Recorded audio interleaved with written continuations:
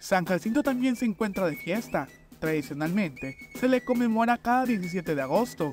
En este 2023 realizaron su anuncio de festividades y dieron a conocer que en este año solo se realizarán las actividades religiosas y culturales. Hoy empieza ante Dios nuestro con Señor. fecha 8, El Señor inicia la novena de todo lo que va a ser la misericordia de festividad de San nosotros, Jacinto, rescatando y nos la la cultura religiosa y tradicional. Hasta el momento de la entrevista, desconocían si en este año se instalaría la feria en las calles aledañas al templo, que se encuentra en la quinta norte y segundo oriente de Tuxtla Gutiérrez. El apogeo de esta fiesta tendrá lugar los días 16 y 17 de agosto.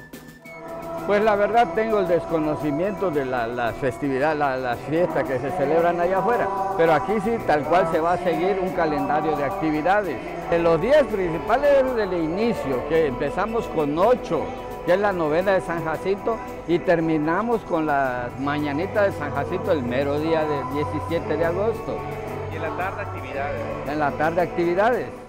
La comunidad llegada a este templo realizó su tradicional anuncio, en donde recorrieron las calles principales del barrio, uno de los cuatro barrios originales en la fundación de Tuxtla Gutiérrez.